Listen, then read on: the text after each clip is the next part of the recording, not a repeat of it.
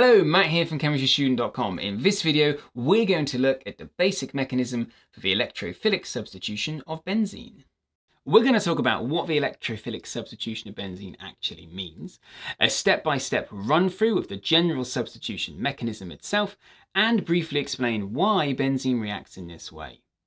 The structure of benzene and specific reactions of benzene and their mechanisms are outlined in separate videos. Check the links in the description below.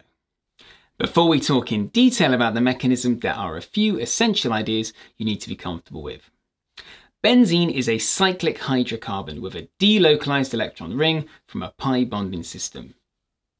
Electrophiles are electron pair acceptors. They are usually positively charged and are attracted to areas of high electron density. A substitution reaction is where one group or atom in a molecule is swapped for another group. Recap done, let's go.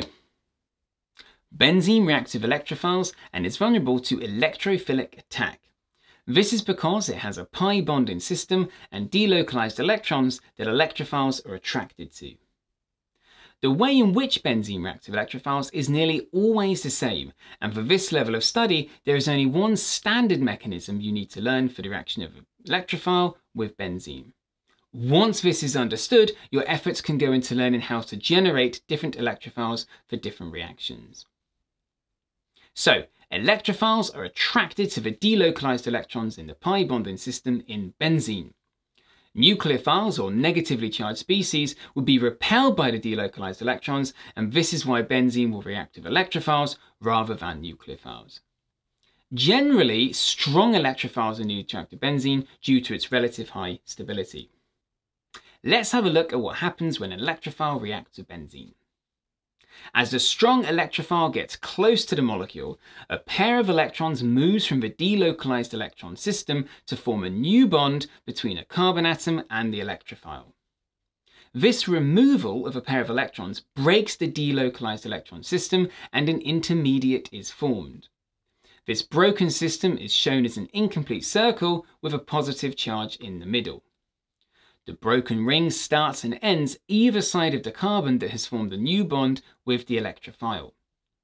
A positive charge comes from the fact that the carbon forming the new bond technically gave the delocalized system one electron when the delocalized system formed. Meaning when it takes out a pair of electrons to form a new bond with the electrophile, it is effectively taking back the electron for itself and removing another meaning there are now four electrons left in the delocalized system shared out between five carbon atoms. Benzene likes its delocalized electron system. It makes it more stable and this intermediate is very unstable.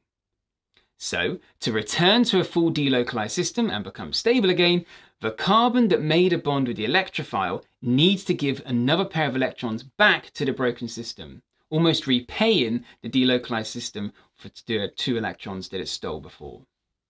Remember in benzene that each carbon atom is also bonded to a hydrogen atom. This carbon-hydrogen bond can be broken to free up a pair of electrons that can be used to restore the delocalized electron system to its former glory. It is this step that forces the mechanism to follow a substitution rather than an addition reaction, which is what normally happens for electrophiles with unsaturated hydrocarbons like alkenes. So let's have a quick recap. An electrophile approaches benzene, a pair of electrons from the delocalized ring of electrons is used to form a bond between a carbon atom in the ring to the electrophile. This breaks open the ring of delocalized electrons and forms an unstable intermediate. To reform a full ring, the carbon-hydrogen bond on the same carbon as the carbon electrophile bond breaks. The electron pair is put back into the delocalized system and a H plus ion is removed.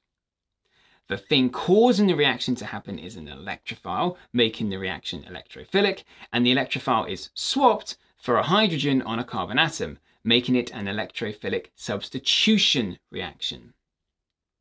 Note that in reality, a H plus ion is usually picked up by another species used in the formation of the electrophile.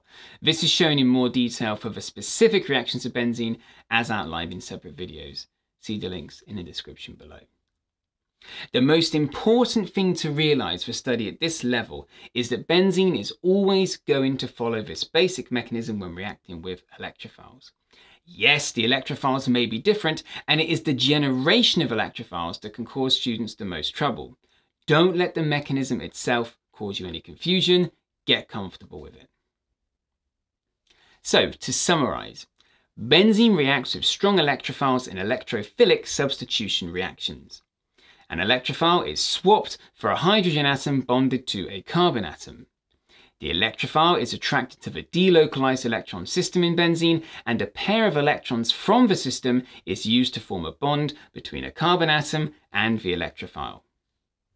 To reform the full ring of delocalized electrons, carbon-hydrogen bond breaks and the electrons from the bond move into the delocalized system. This step forces the reaction to proceed as a substitution reaction. I hope you found this video useful. Please check out other relevant videos in the links given in the description below and visit chemistrystudent.com for free notes and revision materials.